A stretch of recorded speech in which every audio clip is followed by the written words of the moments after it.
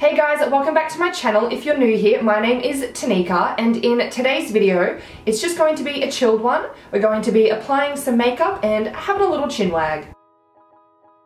I've got my lemon water here because I'm trying not to drink coffee. I don't rely on coffee, but I do enjoy having one, so it is a bit of a change, but how cool is my mug? It's Chandler from Friends. I've had a very long, hard day. Classic. I got it from Grey Lines. But anyway, I have lots to catch you up on, on what has been going on in my life. And I also have a lot of makeup here that I want to talk to you about. So if you enjoyed today's video, make sure you give it a thumbs up and let's just get into it. Okay, starting off, I'm going in with the L'Oreal Infallible Anti-Redness Primer. My face is a mess right now. This is actually quite calm to what it was a few days ago. So as you would probably know, this is my favorite anti-redness primer. It just tones everything right down.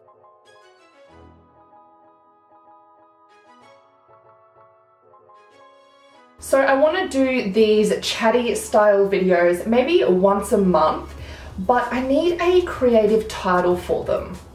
I don't just want to call it a chit chat get ready with me because I feel like it's a bit impersonal and boring. The only thing I could come up with though is Tanika Talks and that's not creative at all. I really don't like it. So if you have any ideas, leave me a comment down below. The idea of the video is just literally chit chat get ready with me. So I'm chatting, we're catching up and I'm playing with new makeup and just giving you my thoughts on everything that I'm using. So I don't know, I was thinking like makeup and talking. Seriously, I, I can't come up with anything. So if you've got any good ideas, hit me up down below. Alright, so that has completely dulled down the overall redness to my skin. I am going to go in with my NARS Soft Matte Complete Concealer to cover up the blemishes. But first I'm going in with my MAC Strobe Cream because I want a nice glowy luminous base. So, oh my gosh, I have literally had the craziest week of my life. It has been so good, so much fun.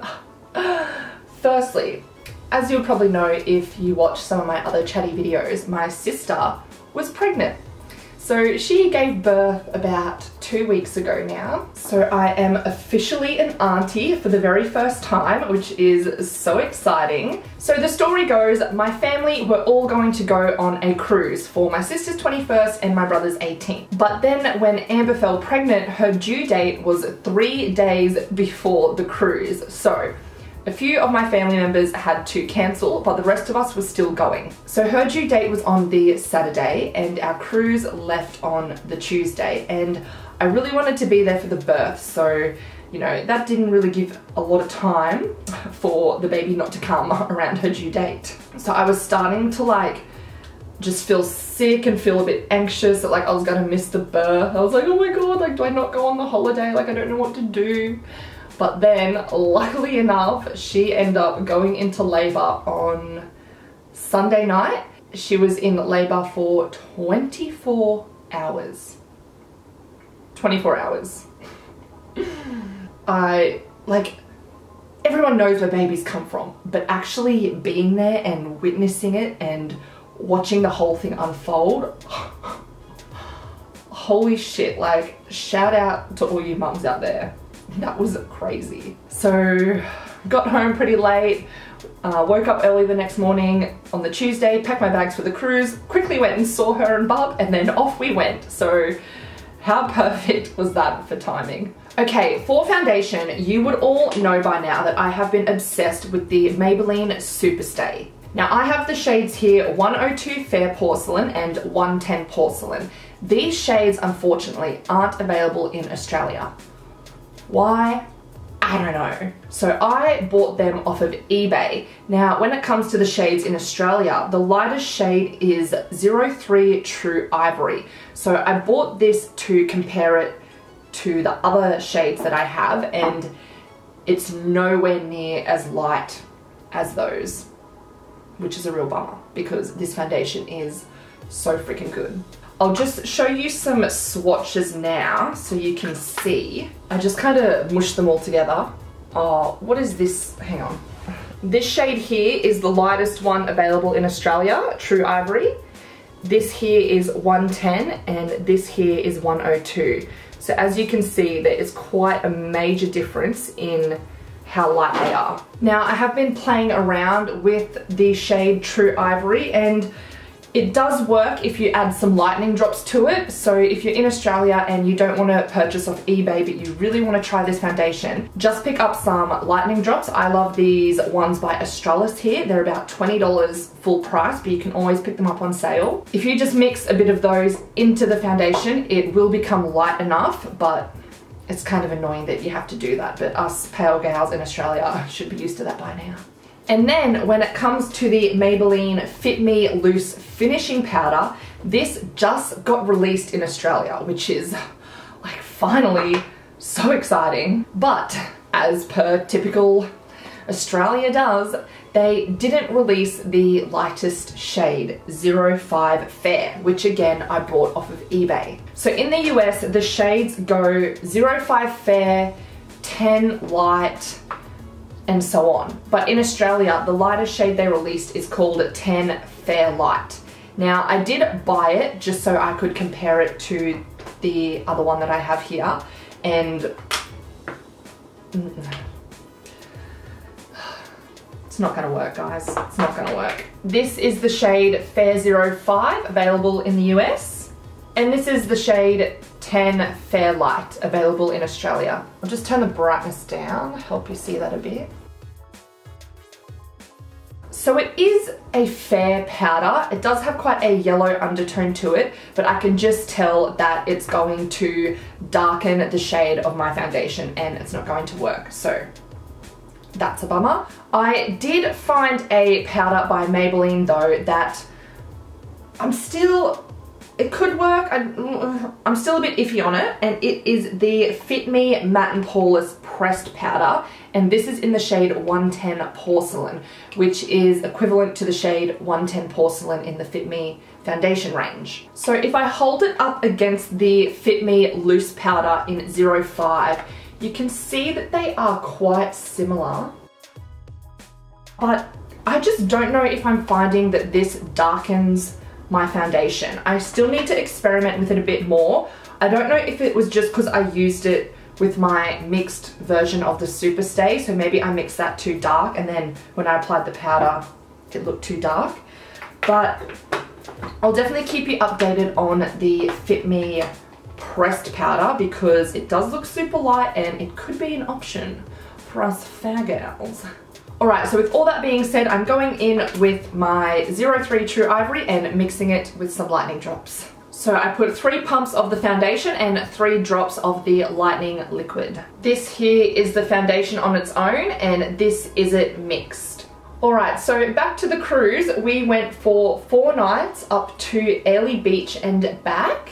It was my two brothers, one of my brother's girlfriends, my sister and Clinton and we had such a good time together. It was so much fun. The weather was absolutely amazing. We spent most of the days just relaxing out on the deck. We did a few activities. I actually got up and sung karaoke one night, which I can't sing, like the worst singer ever. But my sister and I were going to do Super Bass by Nicki Minaj, but then they didn't have it. So the girl was like, why don't you do Ignition Remix? And I was like, you get me, it's happening. So I got up there and sung Ignition Remix by R. Kelly and as I said, I wasn't good, but I think I was entertaining. And that's all that matters. For concealer, I'm just going to be using the Maybelline Fit Me in the new shade 05 Ivory, which is available in Australia at Priceline now.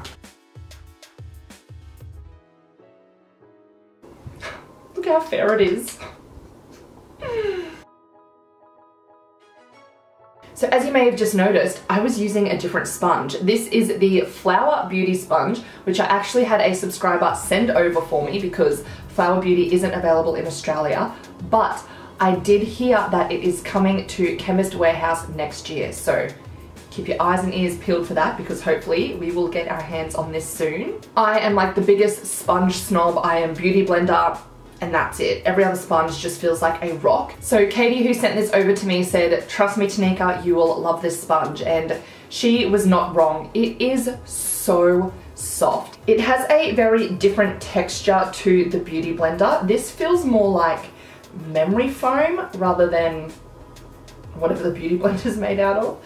But as I said, it is so incredibly soft. If there was just one thing I would change about it, I would like it if they cut both sides on that angle because it would just make it easier to get up under the eyes. I find I have to really squish it in tight to make it thin to get right up in that inner corner. But if you're a Beauty Blender snob just like me, I definitely recommend giving this sponge a go because it actually works really well and is so soft.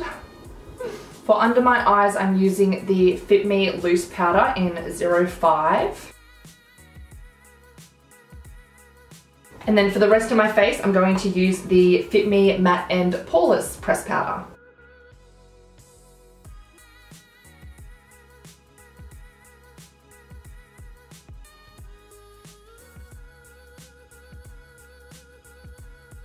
So the couple of days that I have been trying out this powder, it really does set your makeup in place all day. It is a really good powder. I didn't have barely any oils coming through on my T-zone here.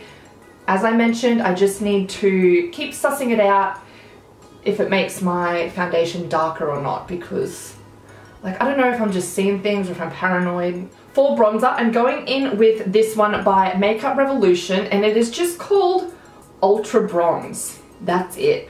But it is such a nice bronzer for fair skin. It has more of a cool undertone, so it's not going to leave you looking orange. So back to the cruise. They had two theme nights. The first one was Gatsby, which is my all-time favorite dress up. It is just, oh, I just love it. Everyone went all out and they looked so good. They had a massive party, they had a live singer and the room was all decked out, Gatsby, it was so cool. We had the best night. My brother had a few too many Long Island iced teas and we went up to like it's called the Dome. It's like the top area where there's like a club.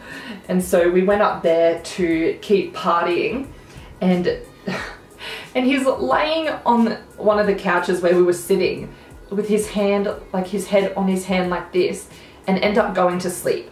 And there's like music blasting, people everywhere chatting, and he's just like, I was like, seriously mate, what are you doing? And then the other theme night was white night, which, oh my gosh, I don't own a lot of white clothing because that's just dangerous territory right there. So trying to find a white outfit was so hard.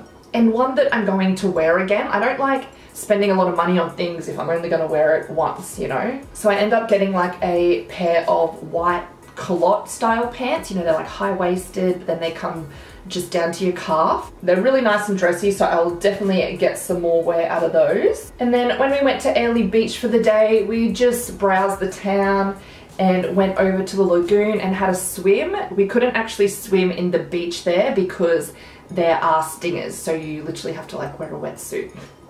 But the lagoon was so nice. We had a lot of fun just being idiots in there, you know, handstand competitions, who can hold your breath the longest, all that kind of baby crap. One day we also went and did a martini masterclass and they were getting people up to make the martinis and so they wanted um, a couple for one of the recipes and so of course my family were like eh, I'm pointing at me and Clinton so we got called up and the martini was like a berry thing and it had cream on top.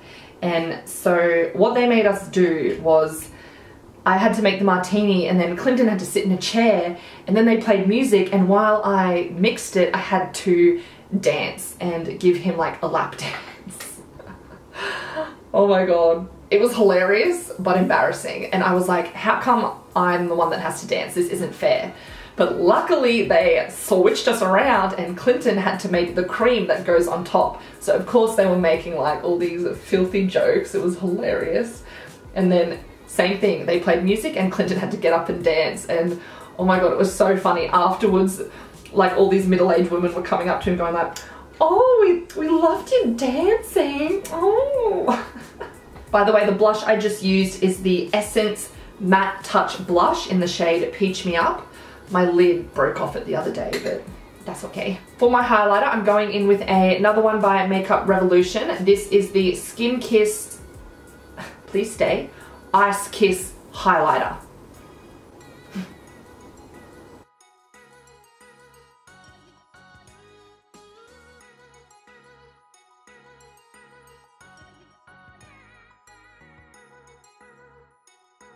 And then just to settle all the powders into my skin, I'm going in with my MAC Fix Plus.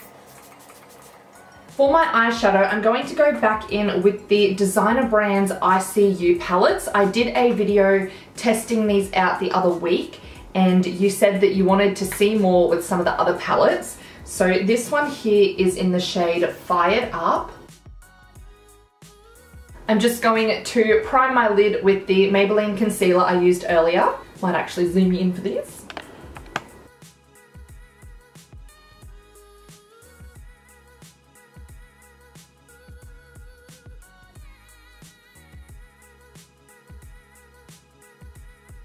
I'm just going to very lightly set with some powder as well.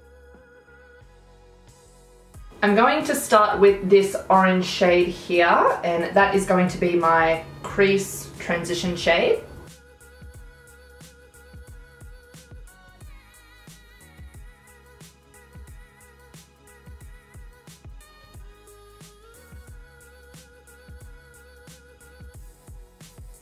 Seriously, these pack and blend so easily.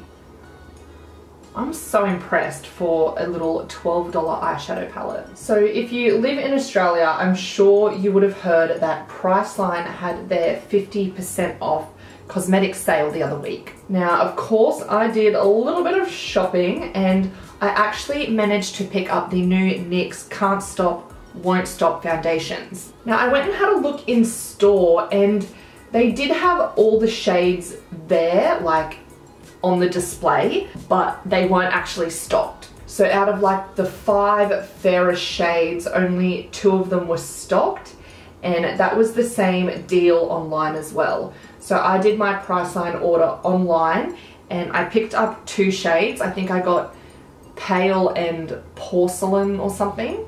So I should get those soon and I will definitely do a review. It's just so good to see a foundation range with so many shades and I love it when there's so many fair shades that I actually don't know which one to choose. I'm like, oh my god, like look at all these options. So I hope that the foundation is actually good and it works out because it's great to have a lot of shade options on the fair scale and on the deeper scale as well. Here's a close-up of how that has packed and blended on.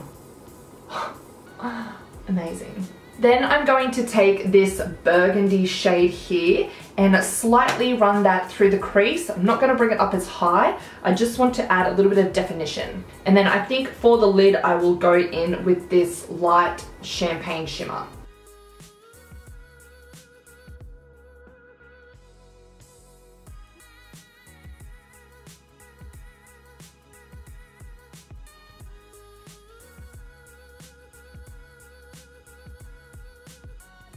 Okay, my battery just died and I went to put my other one in. It was also dead. So while I was waiting for that to charge, I quickly just finished off this eye. So next I went in with the shimmer shade here and I'm going to pop that on my lid. I did wet it with some Fix Plus, but it's still not as shimmery as I would like it to be.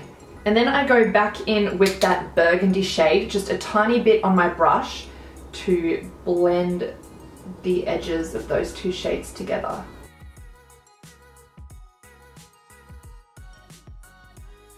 Alright, lower lash line, I went in with the orange on a pencil brush and then in with the burgundy on my favourite Sigma E15 flat definer brush. For mascara, I have been loving the L'Oreal Unlimited.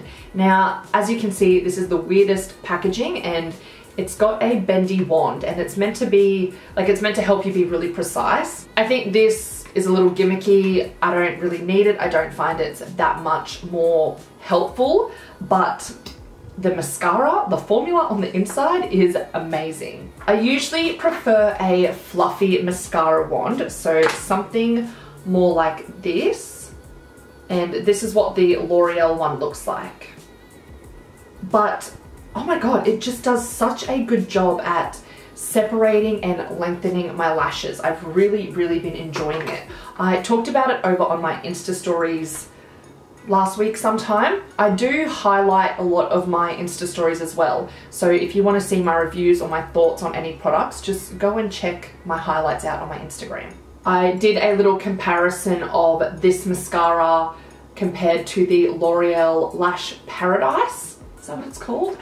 It's called Paradise Extatic in Australia, but the Lash Paradise. So yeah, if you want to see the difference between those, then go check out my Insta highlights.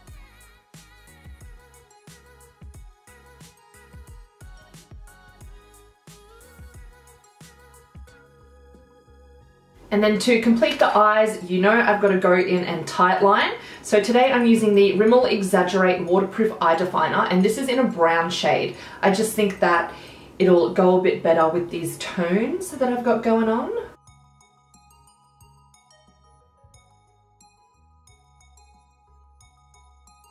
And then for brows, I actually got to go to the MAC store yesterday and learn a bit about a new brow routine. So this is the completed brow and is that not the most natural looking brow you've ever seen me have? Like, come on, have a little close up here. Like that all looks like real hair. I'm so excited to show you this. So first of all, we have the False Lash Maximizer. Now this is like a primer for your lashes, but their little tip was to use it in your brows. So I just go in with a little bit of this. Next I have the Brow Set Gel in the shade Big Biguli? Big Biguile? Not sure about that one, I'll leave in the description box.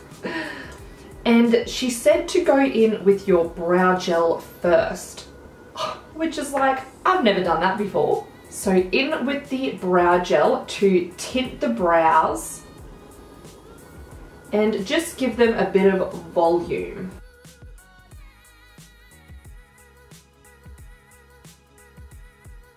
And then the next product I have is the Shape and Shade Brow Tint. On one side, it comes with a felt tip pen, which again, I have never used that for my brows before. And on the other side, oh, it twists. It has like a little shading sponge, which the girl said if you've got really sparse brows like me, you're probably not going to use that. But oh my god, this side, okay. So what you do is you just draw little tiny flicks like this. Sorry, that was out of focus. And you get a nice natural looking brow. So this is the first time I've done it on myself. Bear with me here. So I can see I need to add a lot to the top here for that arch and then a little bit on the end. I really like that she mentioned using the brow gel first because it really shows you the areas that you actually need to fill. Okay, so I'm gonna start down here and make this a bit more even.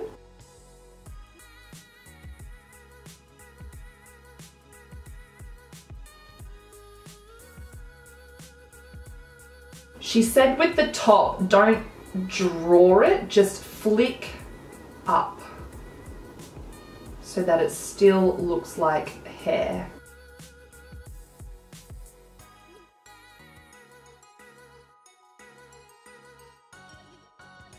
She said you can lightly spoolie through, but you don't want to go too heavy because it will kind of blend the individual lines that you've just spent so long creating. All right, and then just to tidy up under my brow, I'm going in with a concealer brush that I used earlier. I'm not putting any extra product on it, and I'm just going to lightly brush underneath there, just at the front to tidy it up. And then I'm just going to go back in with a tiny bit more brow gel. I think I might also pick up that product, the Shape and Shade in a lighter color. My brows are tinted at the moment, so they're a bit darker. So when the tint fades, I think a lighter color will be perfect. So that is just a close-up of the brows. All right, for the lips, I think I'm just going to go in with a gloss because they're really dry at the moment. I'm just going to lightly line them with the Colour Sensational Lip Liner.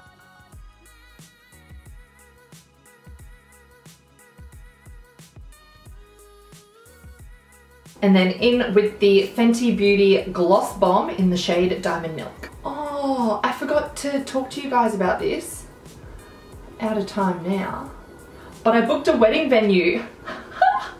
oh my god. We are booked in for May 2020. Hmm. That's literally all I've done. Like I haven't booked anything else or looked at anything else. So maybe in the next little chatty video, I will update you on that and hopefully some other things that I've done. But yeah, that is so exciting. Things are happening. Oh, I just drop everything all the time. Alright, well this is the finished look. I hope you enjoyed watching today and catching up with what has been going on. If you enjoyed it, make sure you give this video a thumbs up. And if you're new here, please subscribe to my channel because I'm trying to hit 4,000 subscribers by the end of the year and I'm getting so close to my goal. If you have any video requests, make sure you leave me a comment down below. And as I said, I will get on to trying out that NYX foundation so I can do a review for you. Alright, well that is all from me. I hope you're having a great day and I will see you all in the next video. Bye!